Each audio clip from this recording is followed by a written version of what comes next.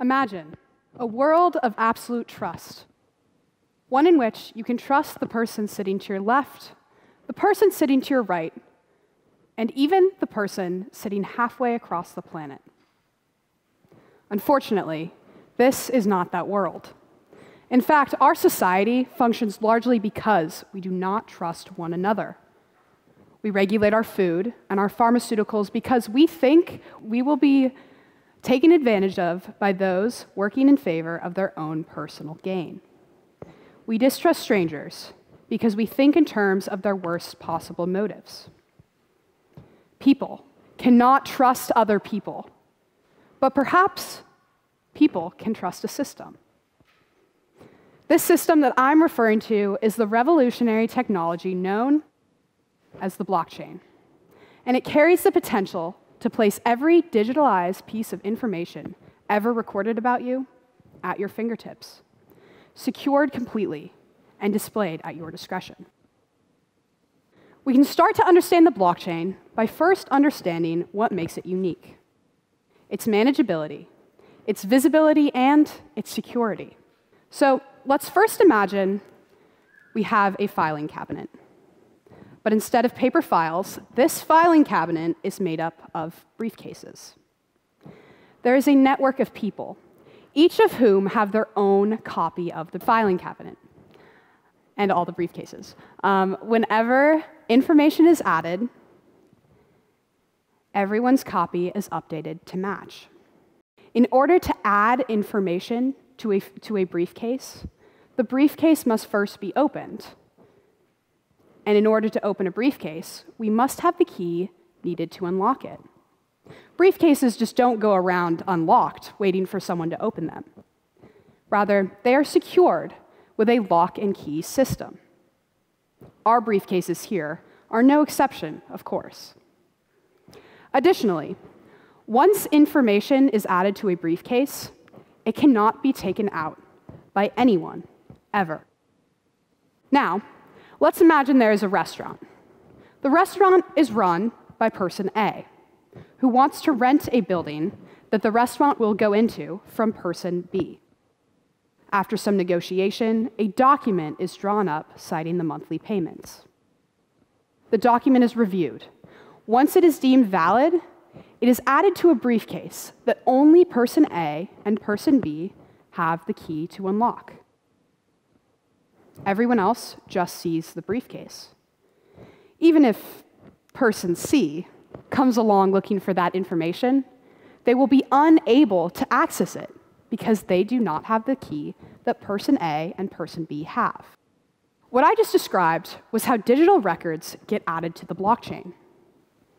The briefcases represent blocks on the blockchain. Each block holds information that designated people can see.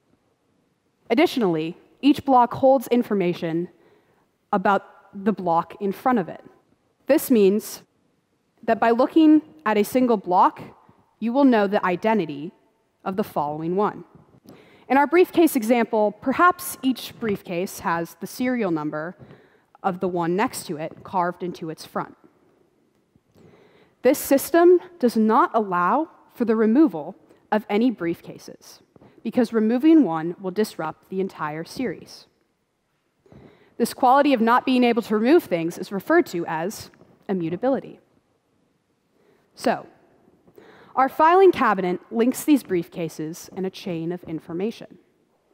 The blockchain does the same only in a digitalized world. Connectivity doesn't just describe the relationship that the blocks have with one another. The users on the network are also connected. The community that the blockchain creates functions as a decentralized or peer to peer network. In a centralized network, there is a single entity that holds all of the power or information in the system. In a decentralized network, such as the blockchain, however, this information is distributed over a number of different locations. Every user on the network has their own copy of the blockchain that looks the exact same as it does on all of the other computers, also called nodes, on the network. Whenever information is added, never taken away, a new copy of the blockchain is passed to all of the nodes. This means that all nodes can see the presence of all information. Going back to our briefcase example, everyone can look into their own filing cabinet and know that the briefcases are there. But they cannot open them and access the documents inside unless they are directly involved and therefore have a key. If everyone can see everyone else's briefcases, it seems unlikely that this is the secure system that we've been looking for. However, it is exactly because of this transparency that the blockchain is so secure. Which brings me to security. Since every node has their own copy of the blockchain, if someone tries to change any existing documents, they're only changing their own copy. One copy different from the other 50,000, 1 million, or however many nodes are on the network, will alert algorithms built into the system and promptly be corrected. To change the blockchain's history, you would have to change a majority of the copies so that what you are trying to edit agrees with the majority of the system. This means hacking into at least 51% of all of the computers on the network, all at once, in between the time it takes to add a new block. This is not feasible. This part of the blockchain security that guarantees its immutability is only half of the equation. The other half is related to a type of code writing and code breaking called cryptography. This makes it so the briefcases are locked. The nodes that see information know what comes from whom, but they can't actually understand it.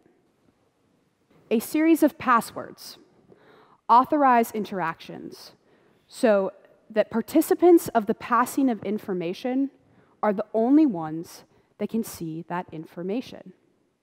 To everyone else, this appears as a series of seemingly arbitrary letters and numbers. Without the special passwords or keys needed to unlock the briefcases, attempting to guess these strings of characters would take lifetimes, even with all of the computing power in the world. So, the blockchain is an incredible tool, and unsurprisingly, it has many different applications. One you might recognize Bitcoin. Ah, yes, the volatile cryptocurrency that recently has been shaking the economy and making appearances in memes. The blockchain was first introduced as the data structure behind Bitcoin in 2009 by a programmer behind the pseudonym Satoshi Nakamoto. Bitcoin's blockchain stores records of transactions that have occurred between users. One thing that makes people want to use Bitcoin is the fact that, that it has no central authority, like a bank or a co corporation, for example. Instead, Bitcoin is decentralized because it, it implements the blockchain. For many, centralized power screams corruption, so Bitcoin is a welcome alternative. Another financial uh, application can be found in the remittance industry.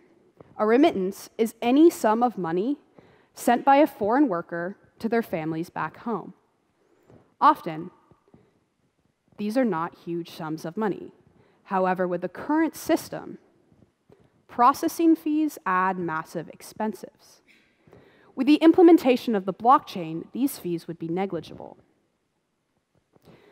There are a number of startup companies that offer the service to convert one currency to another and use the blockchain in between.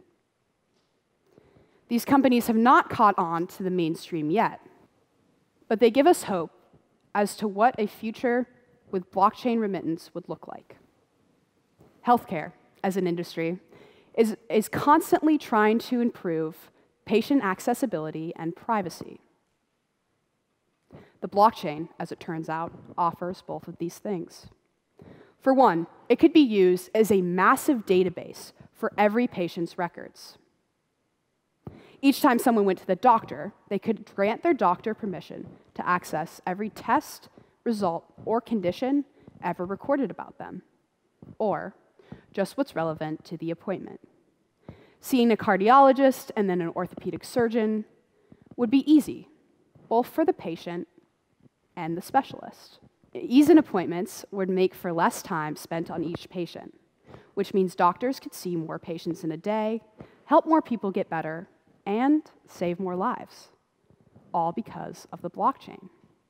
Privacy is a very important part of healthcare, so it makes sense that these sensitive documents should be stored on as secure of a system as possible. And it's not just for people either. The blockchain can be used to track medical technology and pharmaceuticals as they go through each point in the distribution process. Medicine could be tracked at each point via the blockchain. This would prevent pharmaceuticals that are not real from making their way into the supply chain. Additionally, companies would be able to provide verification documents to their customers without risking sharing sensitive corporate inf information. This is a win-win for both the patients and the companies because the patients will be able to trust the companies and, and therefore will give them more business. So, it seems the blockchain has many practical applications in industries we interact with in our everyday lives. However, there are more luxurious uses of the blockchain. A London based company called Everledger is working to digitalize all information about individual diamonds. This includes color, shape, weight, measurements, and origin, all combined to form what they call a digital thumbprint. The diamond industry is constantly working on dealing with counterfeit diamonds, just as the healthcare industry is working on dealing with counterfeit pharmaceuticals. Implementing the blockchain would prevent these counterfeit diamonds, or those that were mined in war zones, from making their way into the supply chain. Again, the industry implements the blockchain. Again, the blockchain improves the industry. So, in a world of distrust, what can the blockchain do? Well, there really is no limit to what it can do. We've understood how the blockchain functions. Its public functionality allows us to trust that whatever information we're passing through it will go where we want it to go. Its visible nature allows for our information to be verified, and cryptography allows for that information to be secured. A shift to where we would rely on the blockchain would completely dis disrupt the way we transfer information, and not just how we interact with money. Almost all industries have countless documents, whether it be the remittance industry, the healthcare industry, or the diamond industry. Introducing these, these industries to the blockchain could allow for easy access. It could allow for easy verification. It could allow for trust. So, when we can't trust one another, we can trust the blockchain. The world's industries are ready to adopt the blockchain. Are you? Thank you.